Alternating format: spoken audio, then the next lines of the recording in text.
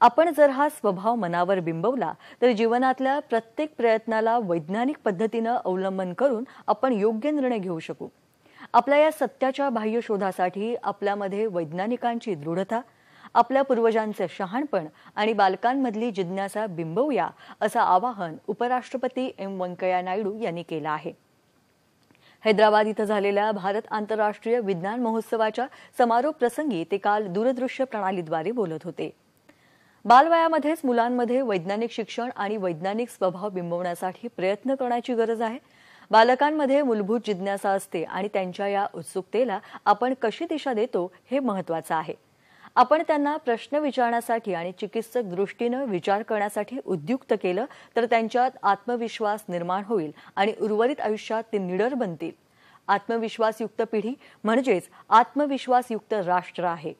अखेर लोकांचं जीवन सुसह्य आणि आनंदी करणं हेच विज्ञान आहे